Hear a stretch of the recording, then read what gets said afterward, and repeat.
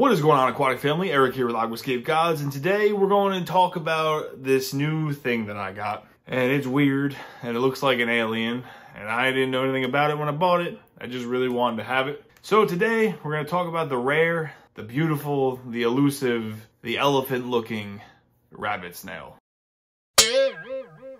Now, before I bought this, I didn't know a thing about rabbit snails, and I gotta be honest, I'm glad that I bought it, because it's super cool to watch. It's one of the most active things in my fish tank. Well, actually, not anymore because I moved it with the guppies. And really, what's more active than a guppy? but I thought that it would be fun to introduce all of you to the rabbit snail. So I'm going to roll some footage of the rabbit snails in their new tank. And uh, I'm going to throw some fun facts right above them. And, uh, you know, if you like this video, thumbs up for me. Comment down below. Let me know if you've ever had a rabbit snail or if you've thought about keeping a rabbit snail. All right, enjoy these fun facts about the rabbit snail.